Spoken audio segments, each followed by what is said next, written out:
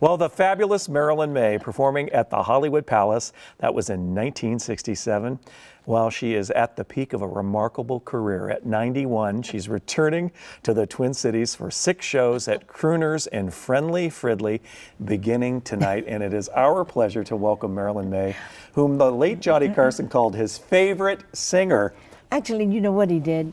We asked him to do liner notes for, I think, my fifth album on RCA. And he said, Well, I don't do liner notes. He said, I'll tell you what I'll do. I'll say, Marilyn, I call Marilyn Maye super singer. Super singer. And he said, Those are my liner notes. And, uh, Ella and I said, "Mm, Who can ask for anything more?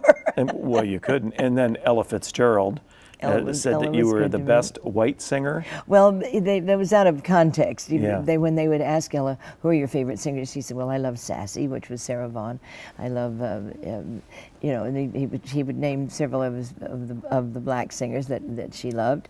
And then she said, and the greatest white singer is Marilyn Maye. so that was lovely. But, you know, once you take it out, it, put it in the right context. We're looking at a, there's a clip from Oh, uh, Johnny Carson. How many times were you on that show? 76. The most of any singer. It was the record of for singers. For Oh, girl my singers. gosh. There are comedians that have done it more, but but the girl singers. uh, How do you reflect on that experience? Uh, it was wonderful. They they were so good to me. Well, first of all, he was so wonderful because we would talk. You know, he would talk to the guests like this, but when I sang, he would completely turn his body and face me and stay there the whole time, rather than continuing talking during during my song, and say wonderful things. He said more complimentary things after this song than my mother would have said. You know, but uh, but also the show. You know, they took very good care of you. The, the, we did a great rehearsal, and, and of course the band was so great. Doc Severinsen was so wonderful, and they would, uh, you know, they studied you when you did the rehearsal,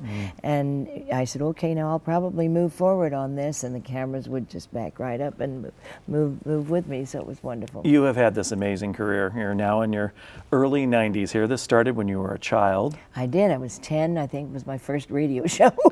And you work like somebody half your age with all these different uh, Well, I can't. I can't cook, Pat. So, so, so I'm singing as fast as I can. That's the main thing, and I'm very fortunate because I have wonderful clubs like Crooners. This wonderful club here that you have in Minneapolis. It is wonderful, isn't very it? proud of this Yeah. room, and um, so I, I, I'm, I'm just, I'm, I love it. In New York, there's, there, I work. Uh, we're going in October to 54 Below, and in in October, and then we go to uh, the Purple Room in Palm Springs in November, and in December we wind up um, in Oklahoma, someplace at a university in Oklahoma.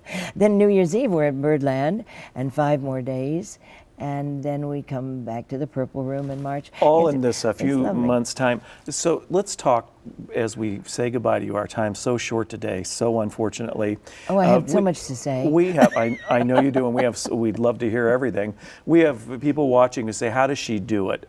To what do you owe this great Um, career, you push, this longevity?" You push, and I'm, I'm blessed. I'm very, very blessed. My voice is there. It is. And I love the audience. I love the people that I work for. I'm, you know, Mary T, this girl at Crooners, she's just Mm-hmm. this woman who is very active too, and it's lovely to sing. But I sing to the audience, not for them. We entertain.